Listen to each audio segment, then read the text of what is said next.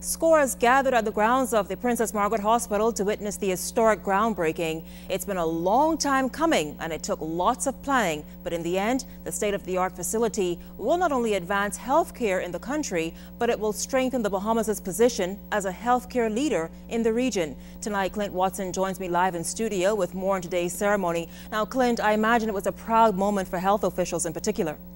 You imagine correctly, Shanique. PMH has treated well over 2 million patients in its emergency care services, logged over 250,000 surgical procedures, and registered over 200,000 live births in its maternity unit.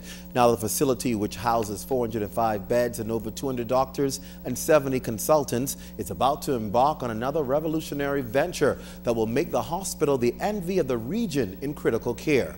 Prime Minister Hubert Ingraham says the overall cost of the project will be to the order order of $75 million, inclusive of equipment. The project comprises the construction of a new critical care block, a new entryway to the hospital, and importantly, critical utility upgrades.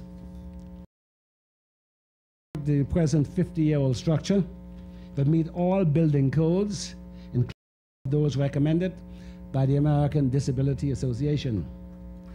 The block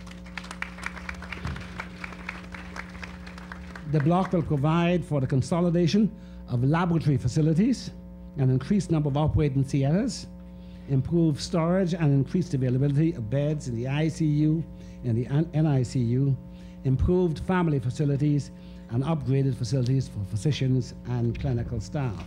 Cavalier Construction, at a cost of approximately $55 million, will serve as the lead contractor, having already mobilized. The completion of this first phase is 24 months. Now, $55 million will be provided through a loan to the Public Hospitals Authority and the remainder of the funding the government. Aside from construction of the new facility, employment opportunities will also be available for hundreds of Bahamians. In preparation for the completion of this critical block, 130 or more Bahamians, exclusive of physicians and nurses, are being engaged now to be trained to become surgical and orthopedic, radiology, rehabilitation, intensive care, laboratory, biomedical, EKG, and EK echo technicians here at the facility. Additional, additionally, medical records, patient care aides, maintenance technicians, and other officers are being required. These trainee technicians are products of the National Jobs and Retraining Program undertaken by the government. The PHA has already interviewed and selected candidates in required areas for this facility and other expanded facilities here in New Providence and in Grand Bahama. The first 160 individuals will begin their training on the 28th of this month. Health Minister Dr. Hubert Minnis says the new complex exemplifies a holistic approach to healthcare, which will be a hallmark in this sector in the modern Bahamas. The new critical care complex is designed to include in one building services now provided in several locations.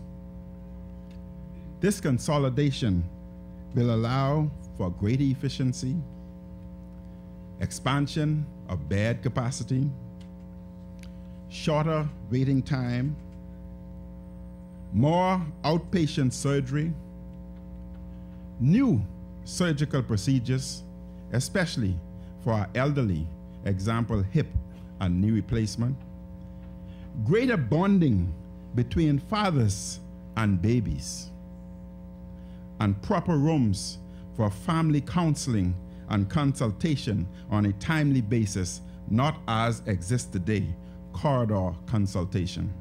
This new facility will also allow real-time consultation between institutions in the U.S. or throughout the world. Thus, the creation of a new economic pillar, growth, as we prepare to become the referral center of the Caribbean. I get this, Shanique, along with concierge services, a food court, gift shop, security, and general administration.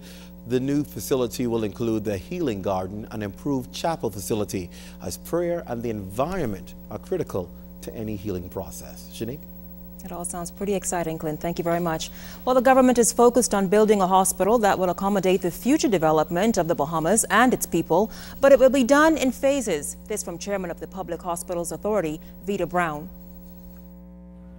We are aware that it is not a quick fix, nor a one off intervention.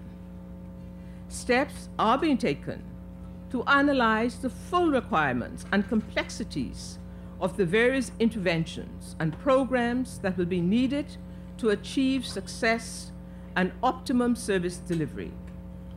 Therefore, during the term of the construction, we will put our house in order to ensure that all our stakeholders are engaged in the process to install and improve quality of care that is both appropriate and affordable for our Commonwealth.